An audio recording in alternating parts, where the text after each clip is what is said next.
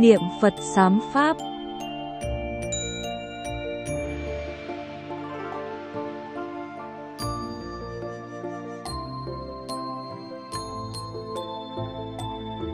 Mở đầu phương pháp sám hối niệm Phật.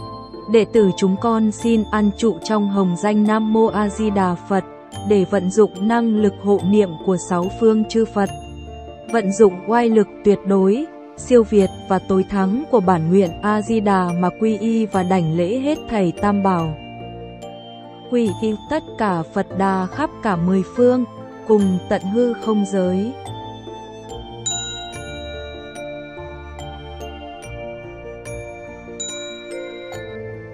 Quy y tất cả Phật Pháp khắp cả mười phương, cùng tận hư không giới.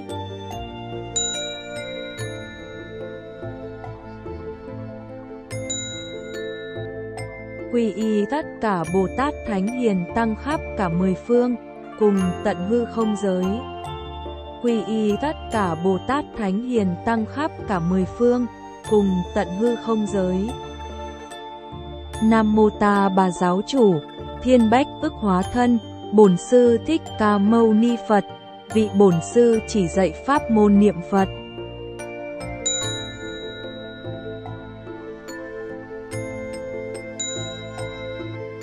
Nam Mô Tây Phương Cực Lạc Thế Giới Đại Từ Đại Bi A Di Đà Phật vị Đạo Sư tiếp dẫn váng sanh cực lạc.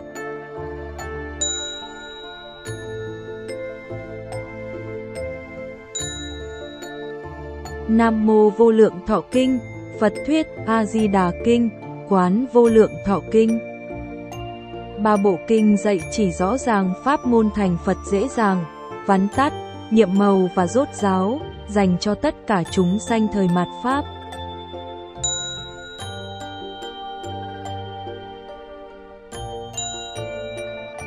Nam Mô Tây Phương Cực Lạc Thế Giới Vạn ức Tử Kim Thân Đại từ Đại Bi cứu khổ cứu nạn quán thế âm Bồ Tát.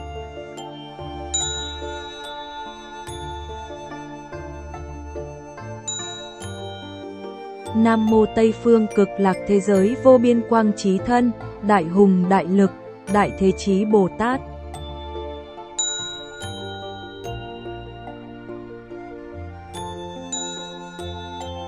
Nam Mô Tây Phương cực lạc thế giới phước trí nhị nghiêm thân, thanh tịnh đại hải chúng Bồ Tát.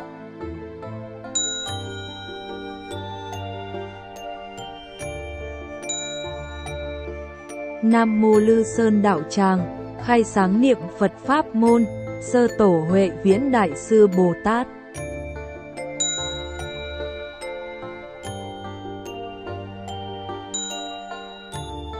Nam Mô Quang Minh Đạo Tràng, Hoàng Dương Niệm Phật Pháp Môn, Nhị Tổ Thiện Đạo Đại Sư Bồ Tát.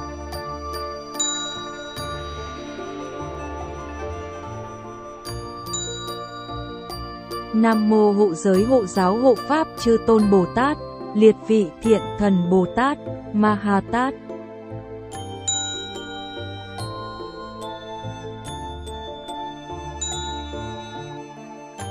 Quyền thượng, phẩm thứ nhất, niệm Phật phải vì thoát sanh tử luân hồi.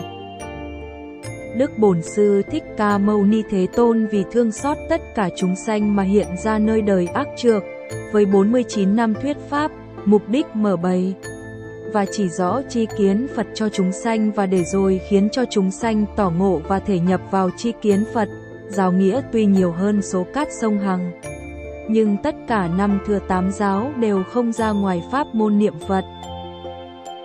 Do bản nguyện lực của Đức A-di-đà, do năng lực hộ niệm của sáu phương chư Phật, cùng với gia trì lực của chư vị Đại Địa Bồ Tát, đệ tử chúng con được gặp duyên lành dẫn dắt vào chân lý tối thượng bằng cửa ngõ niệm Phật.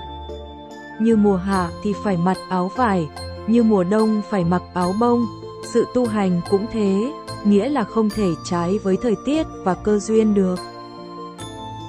Dù Đức Đạt Ma Tổ sư tái hiện ngay lúc này, nếu muốn hợp thời cơ để cứu độ chúng sanh mau được giải thoát, thì cũng không có pháp nào. Hơn pháp môn niệm Phật cả.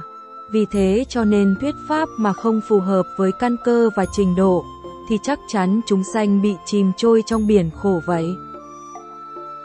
Đệ tử chúng con vốn là phàm phu vô trí, nên phải một mực y theo lời Phật dạy, chẳng dám tự chuyên. Vì thế mà xưa nay chúng con đều chuyên niệm danh hiệu Đức A-di-đà.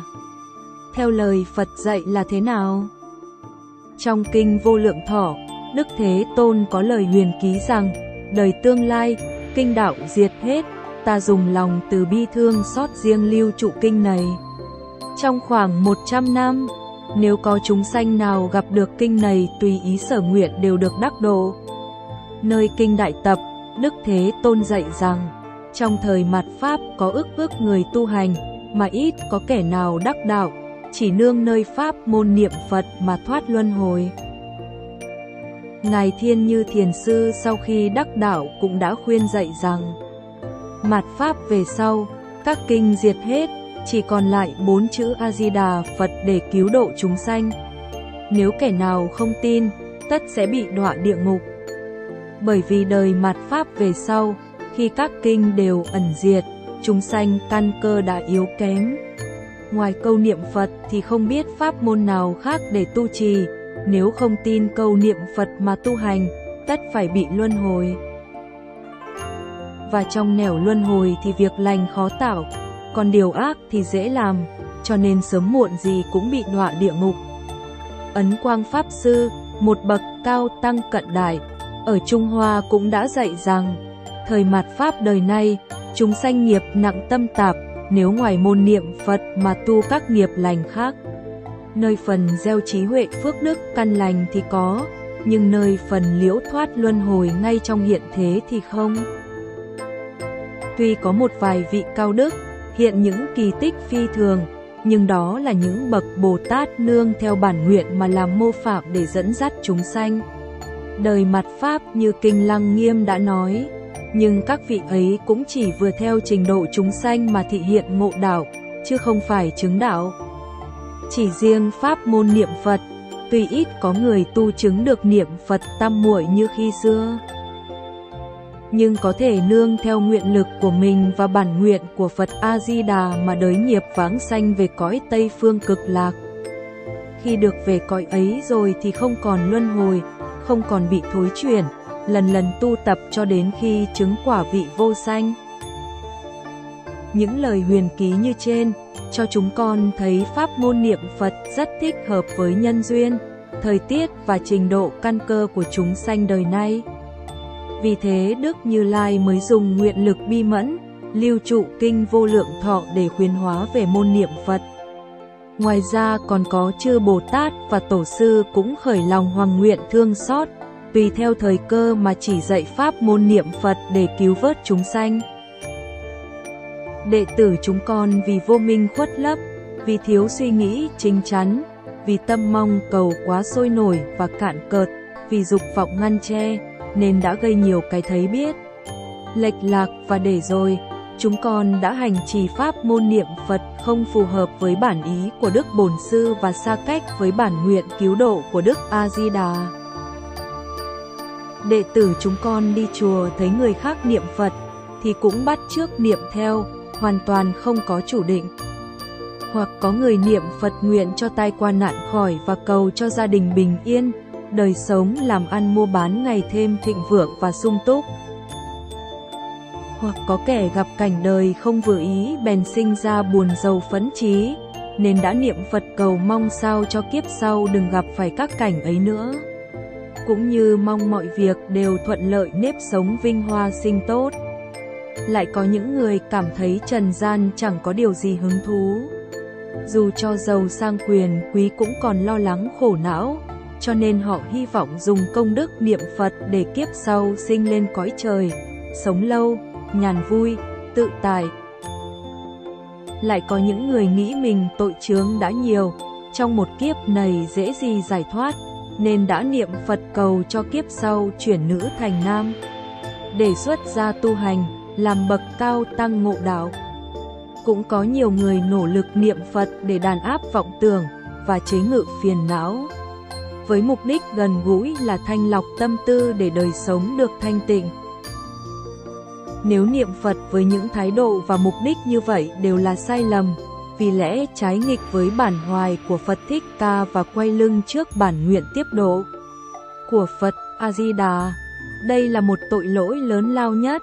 Thật vậy, chúng con vẫn hiểu rằng không có tội lỗi nào to lớn và nặng nề cho bằng cái tội hành trì trái nghịch với di huấn của Đức Bổn Sư, để rồi phụ giấy công ơn tiếp độ của Đức từ Phủ A-di-đà. Đệ tử chúng con ngày nay nhờ sự chiếu soi và dẫn dắt của ánh hào quang chư Phật, chúng con mới biết được tội lỗi của mình. Cho nên chúng con xin thành tâm cúi đầu gieo năm bộ phận của cơ thể xuống sát đất, khẩn cầu sám hối. Nam Mô Thích Ca Mâu Ni Phật, vị bổn sư chỉ dạy pháp môn niệm Phật.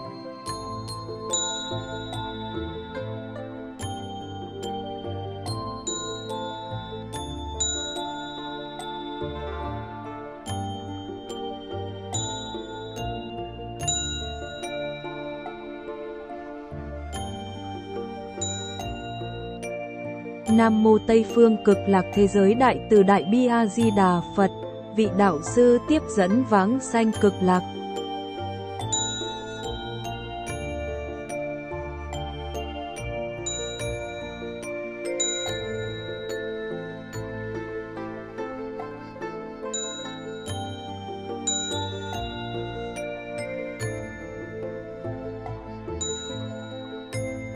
Như vậy, từ hôm nay, đệ tử chúng con phải niệm Phật như thế nào mới phù hợp với bản ý của Đức Phật Thích Ca, cùng bản nguyện của Đức Phật A-di-đà.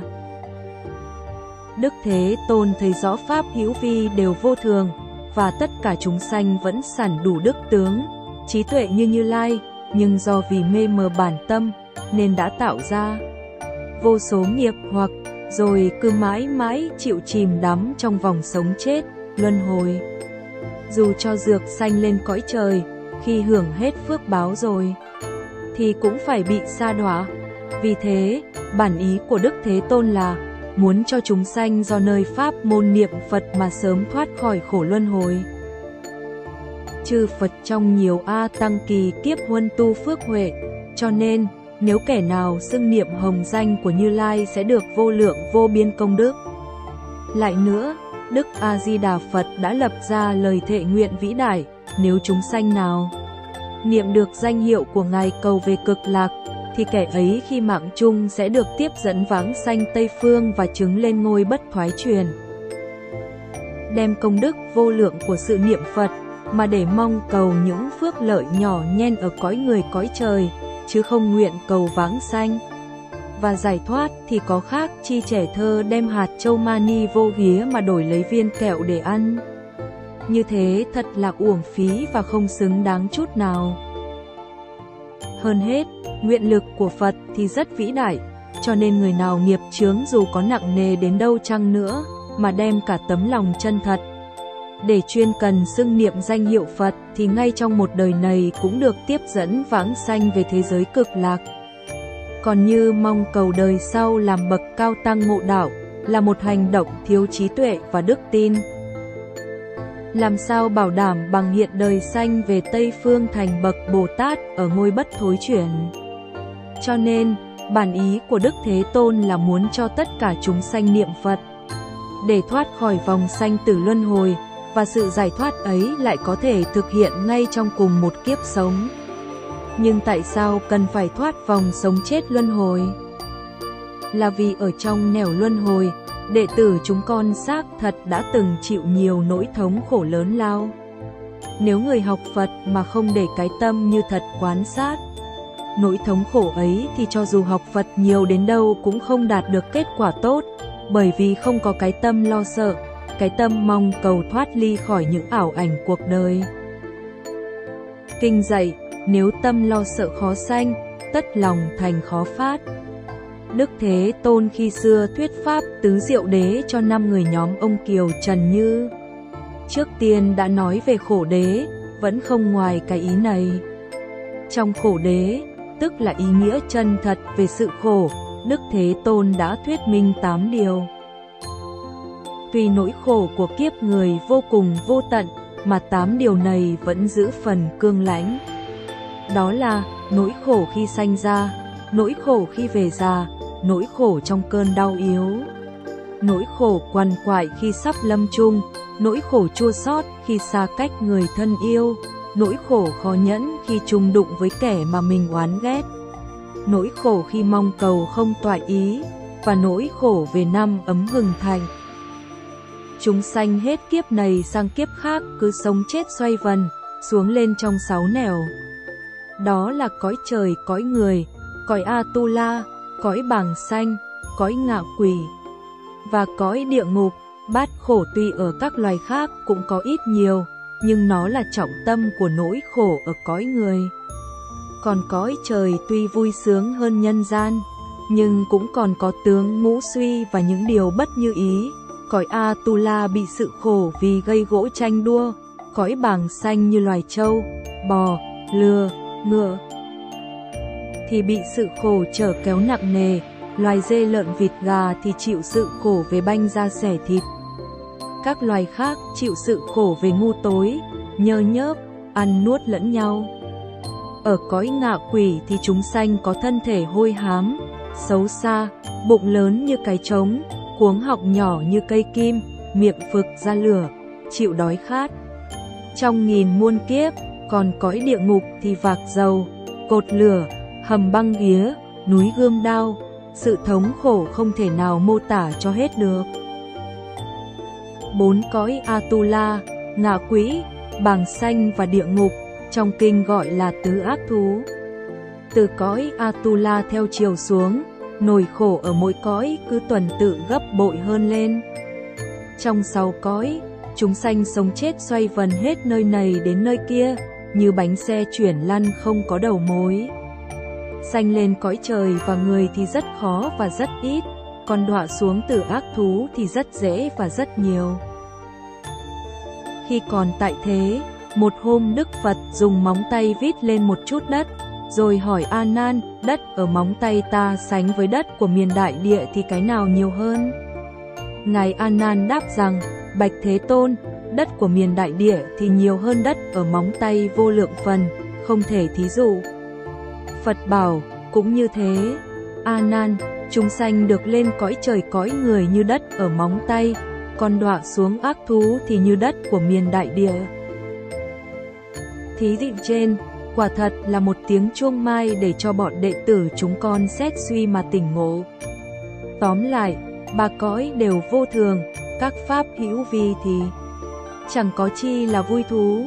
Người niệm Phật phải cầu sanh về Tây Phương để thoát khỏi vòng sống chết luân hồi, lần lần tu chứng đến cảnh. Thường, lạc, ngã, tịnh của Niết Bàn, chứ không nên mong cầu sự phước lạc hư dối ở thế gian. Niệm Phật như thế mới phù hợp với mục đích giải thoát, với tâm từ bi cứu khổ ban vui của Đức Thế Tôn. Và muốn được như vậy, chúng con phải thường xuyên giám sát và suy tư về tám nỗi khổ của kiếp người, cho đến nỗi khổ vô tận vô biên trong sáu cõi.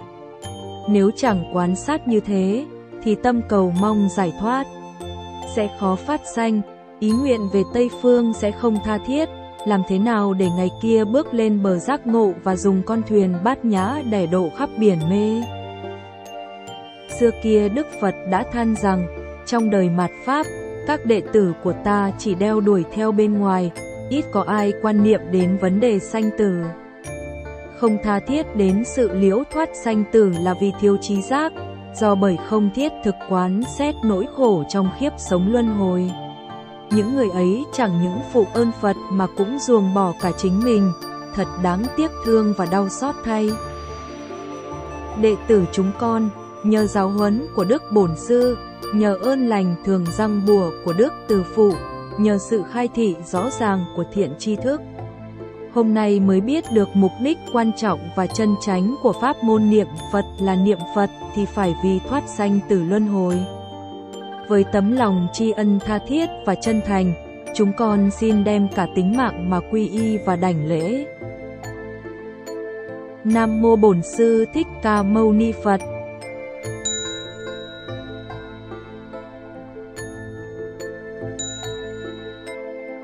Nam Mô Đại Từ Đại Bi A Di Đà Phật, vị đạo sư tiếp dẫn vãng sanh cực lạc.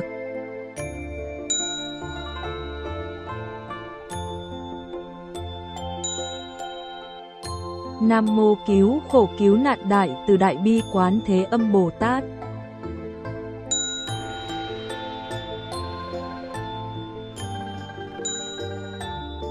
Nam Mô Đại Hùng Đại Lực Đại Thế Chí Bồ Tát.